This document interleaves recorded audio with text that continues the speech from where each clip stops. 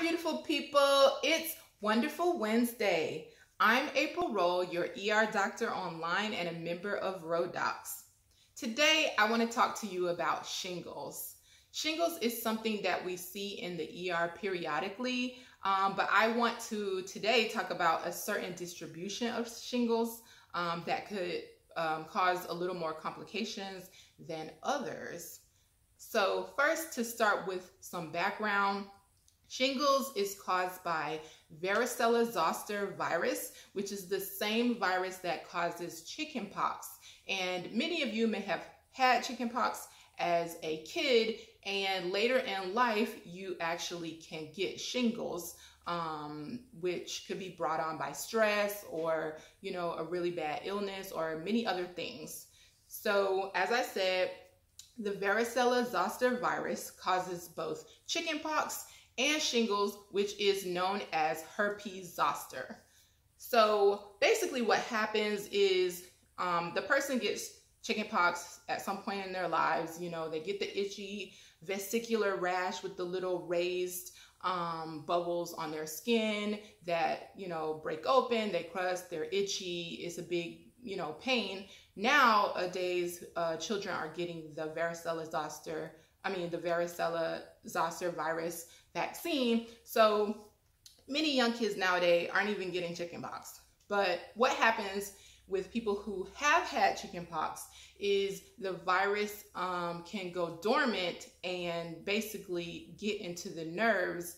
And as I said before, whenever the person ends up getting shingles, whether it's because they had a major stress or a major illness, or they're now immunocompromised, they get the shingles rash, which, um, which comes out, and um, basically they have to deal with that and get treated.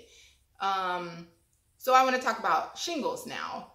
When you get the shingles rash, because the virus is pretty much um, attacking the sensory neurons, when the rash comes out, it's usually in a distribution of you know whatever part of the skin that nerve innervates right? So you'll usually not have shingles crossing the midline. It'll be in one area that that nerve innervates and it'll be on one side of the body.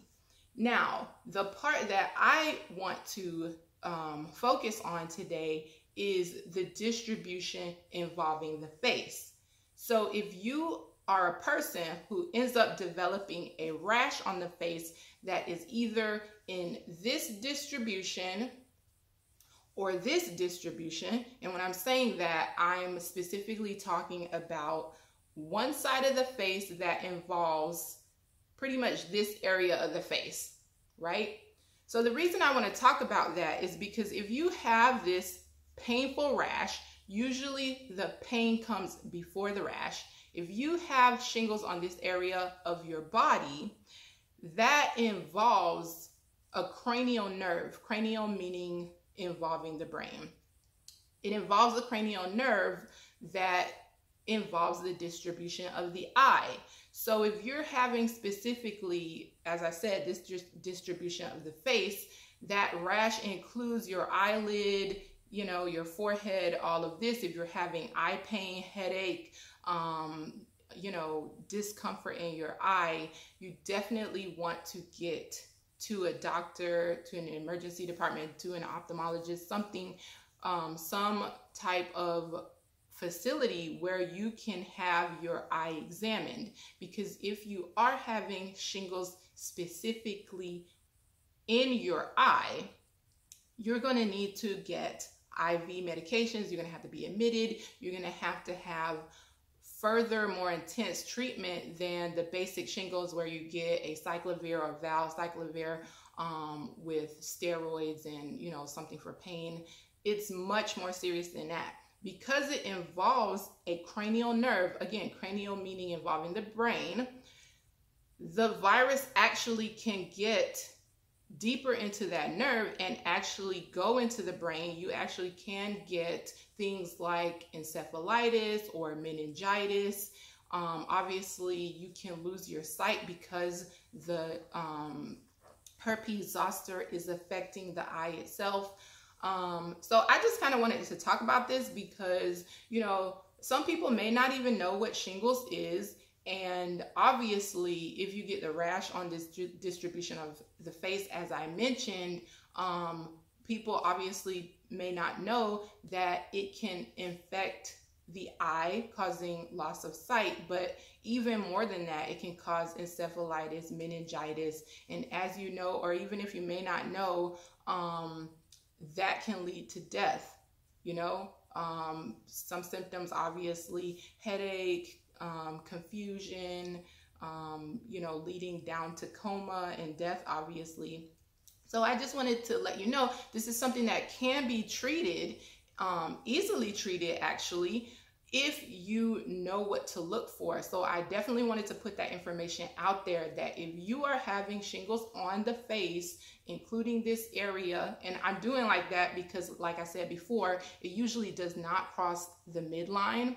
Um, if you're having this, and especially if you're immunocompromised, meaning that your immune system is weaker than others, and if you fall into this category, or I mean, you would fall into this category if you are elderly, if you're on chemotherapy, if you um, are a transplant recipient and you're on anti-rejection medications, um, if you have an autoimmune disease like lupus or something like that, where you're on chronic steroids or other medications that can put you at, um, you know, put your immune system at a lower um, functioning rate, um, also, if you have HIV or other medical illnesses where you know that your immune system is not as active as someone without these conditions, you need to be more aware because you are more at risk of getting shingles. And when you get shingles,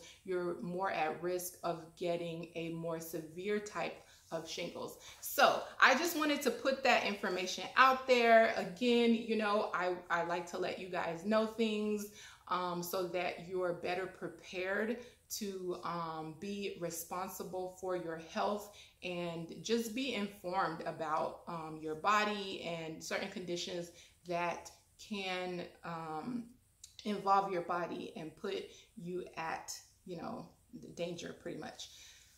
So I'm happy for you to be joining me on this wonderful Wednesday. Thank you for spending this time with me. If you found this information helpful, please share this video. If you'd like to hear about any other topics or want me to talk about anything else on any future wonderful Wednesdays, put that in the comment section below.